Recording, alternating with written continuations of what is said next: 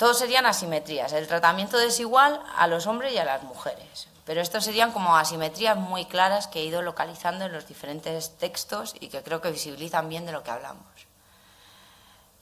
Está en una entrevista en radio a unas deportistas, eh, creo que eran jugadoras de fútbol sala.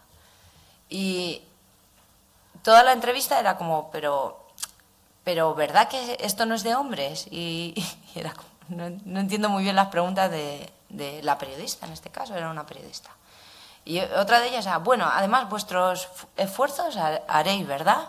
Y yo, estabas hablando con una jugadora que justo había ido a un campeonato nacional, que había sido fichada, que la habías presentado como un referente para la región, y de repente le preguntas que si hace esfuerzos. Hombre, no sé, digo yo. Mm, igual no, igual es que nosotras, como siempre, solemos pasarlo muy bien en la pista, nos encanta, sonreímos, nos sufrimos, pero yo sí, ellos sufren mucho, pues em, este tipo de preguntas, no sé yo si mañana se la harían a un jugador del SOTA, no, no las he leído, porque también me he leído todas las informaciones eh, eh, protagonizadas por hombres, y yo no he visto ninguna pregunta de este tipo.